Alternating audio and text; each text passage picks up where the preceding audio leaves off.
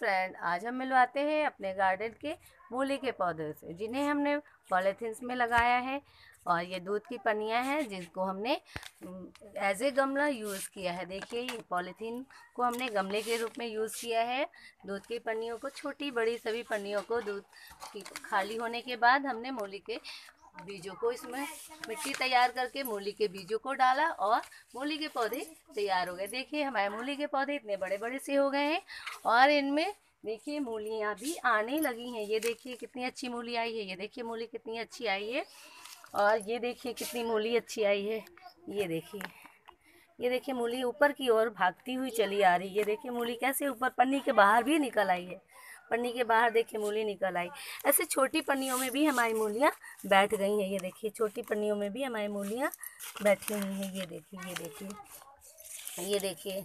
कुछ मूलियाँ हमारी कमज़ोर हैं, क्योंकि जब हमने बीज डाले हैं तो किसी किसी पन्नी में हमारे बीज दो से तीन हो गए हैं और किसी किसी पन्नी में चार चार बीज हो गए हैं।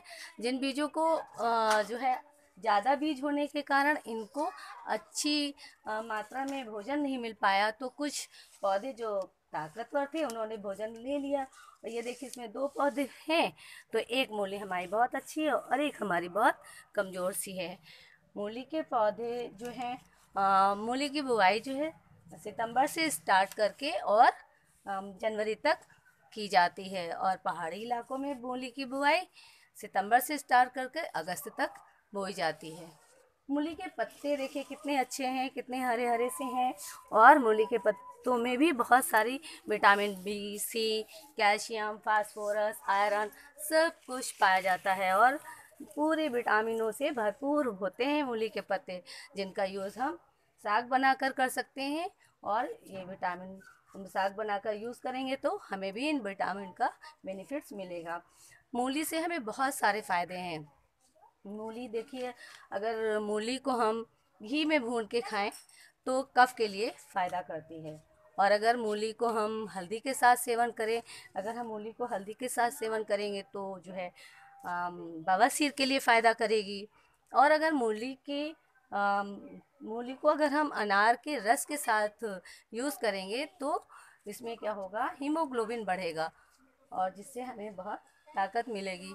और हीमो मूली जो है जो फेस पे छोटे छोटे मुहासे निकल आते हैं तो उनके लिए फ़ायदेमंद होती है। उनसे मुहासे नहीं निकलते हैं, यानी कि अगर निकले हैं तो उन्हें भी फ़ायदा करेगी। और मूली जो दांतों में पीले रंग की पायरिया हो जाती है, पायरिया जैसा रोग हो जाता है, हमारे दांत पीले पड़ जाते हैं तो वो पायरिया रोग के लिए भी मूली बहुत फ़ायदा करती है। मूली देखिए, मूली हमें कई तरीके से फ़ायदा करती है, बहुत फ़ायदेमंद है मूली हमारी।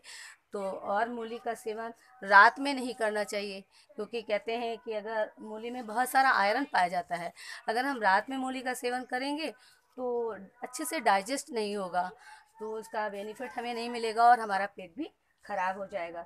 इसलिए मूली का सेवन कभी भी रात में नहीं करना चाहिए।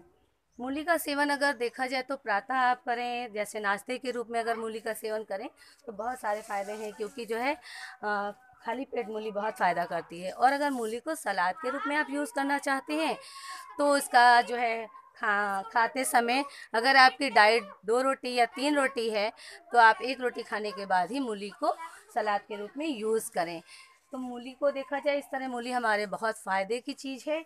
ऐसे ही आप और और एक नुकसान भी है मूली का कि मूली को आ, मतलब करेले के साथ कभी भी यूज़ ना करें। अगर आपने करेला खाया है तो मूली कतई ना खाएँ और ये 24 घंटे बाद ही आप मूली का सेवन कर सकते हैं और मूली को है संतरे के साथ मूली का सेवन कभी भी नहीं करना चाहिए जो हमारे लिए बहुत ही नुकसानदायक होता है।